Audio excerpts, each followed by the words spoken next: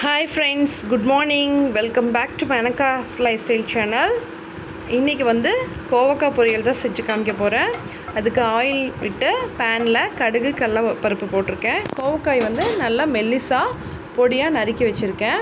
இந்த மாதிரி round ரவுண்டாகவும் cut பண்ணலாம். இல்லை நீல வாக்கில் போட்டும் கட் பண்ணிக்கலாம். இந்த மாதிரி பண்ணோம்னா கொஞ்சம் சீக்கிரமாக வேகுங்க நீங்கள் கோவக்காயில் வந்து நிறைய விட்டமின் சி அண்ட் ஏ இருக்குது அது போக அயன் சத்து ரொம்ப அதிகமாகவே இருக்குது நீங்கள் ஆயில் வந்து லைட்டாக சூடாகி கடலப்பருப்பு பொரிஞ்சதும் இந்த கோக்கா வந்து நம்ம கட் பண்ணி வச்சுருந்து உள்ளே போட்டுக்கலாம்.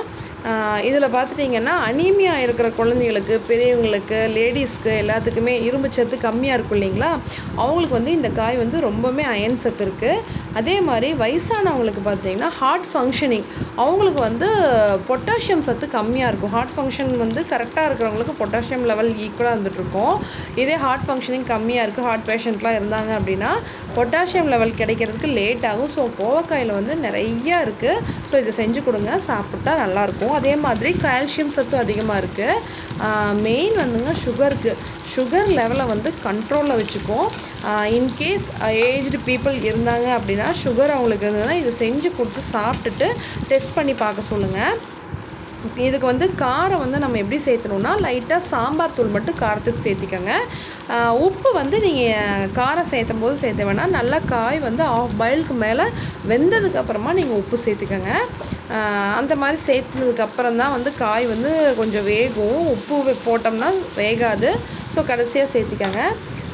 அப்புறம் மெயினாக இது பார்த்துட்டிங்கன்னா குழந்தைங்களுக்கு வந்து குடல் புழு இருக்குன்னு சொல்லுவாங்க இல்லையா? அந்த மாதிரி குடல் புழு இருக்கிற குழந்தைகளுக்கோ இல்லை அந்த கொக்கி புழு நாடா புழுன்னுலாம் சொல்லுவாங்க. அந்த மாதிரி புழு இருக்கிற குழந்தைகளுக்கு வந்து இது கொடுத்தோம்னா நல்ல ஒரு ரெக்டிஃபைங் இருக்கும்.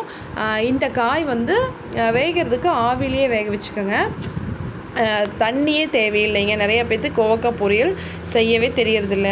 அதில் ஆயில் பார்த்துட்டிங்கன்னா நம்ம ஆயிலே ஃப்ரை பண்ணால் போதும். தண்ணி வேண்டியதில்லை. தண்ணி ஊற்றுனோம்னா ஒரு மாதிரி பிசு பிசுப்பாக வலுவலுன்னு இந்த வெண்டைக்காய் செய்கிற மாதிரி அந்த மாதிரி ஆகிடும் இதுக்கு வந்து அந்த மாதிரி தேவையில்லை. இந்த மாதிரி செஞ்சு சாப்பிட்டா செம டேஸ்ட்டாக இருக்கும். ரச சாதம் இல்லை வந்து தயிர் சாதத்துக்கு வச்சு சாப்பிட்லாம்.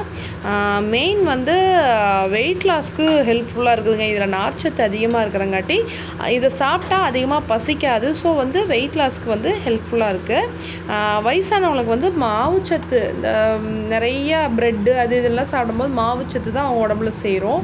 ஸோ அதுக்கு வந்து செரிமானம் இல்லாமல் இருப்பாங்க. வயிறு உப்புசமாக இருக்கும். அதுக்கு இந்த மாதிரி காய்கள் வந்து பண்ணி கொடுத்தீங்கன்னா நீங்கள் நெக்ஸ்ட் டே வந்து கொஞ்சம் ஃப்ரீயாக ஃபீல் பண்ணுவாங்க. அவங்களுக்கு வந்து அந்த ஒரு செரிமானம் ஆகாத ஃபீலிங்கே இருக்காது. இந்த மாதிரி காய் வந்து நீங்கள் பண்ணி பாருங்கள் ரொம்ப டேஸ்டியாக இருக்கும். இதில் வந்து பார்த்துட்டிங்கன்னா ஒரு ஹண்ட்ரட் கிராம் நம்ம காயிலேயே பார்த்துட்டிங்கன்னா ஒரு ஒன்று புள்ளி நாலு மில்லிகிராம் வந்து அயன் இருக்கும். ஸோ குழந்தைங்களுக்கு வந்து தாராளமாக கொடுக்கலாம்.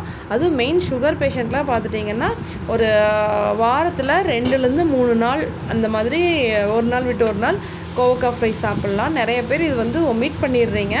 இதை சாப்பிட்டு பாருங்கள் இந்த மாதிரி செஞ்சு ட்ரை பண்ணி பாருங்கள் உங்களுக்கு இந்த வீடியோ பிடிச்சிருந்ததுன்னா லைக் பண்ணுங்கள் ஷேர் பண்ணுங்கள் சப்ஸ்கிரைப் பண்ணுங்கள் சப்ஸ்கிரைப் பண்ணாமல் நிறையா பேர் பார்த்துட்ருக்கீங்க வியூஸ் மட்டும் எனக்கு அதிகமாக போகுது பட் சப்ஸ்கிரிப்ஷன் வந்து கம்மியாக இருக்குது ஸோ சப்ஸ்கிரைப் பண்ணிவிட்டு பாருங்கள் உங்களுக்கு இந்த மாதிரி நிறைய ஹெல்த்தியான டிப்ஸ் அப்போ தான் வந்து கண்டினியூஸாக வந்துகிட்டே இருக்கும்.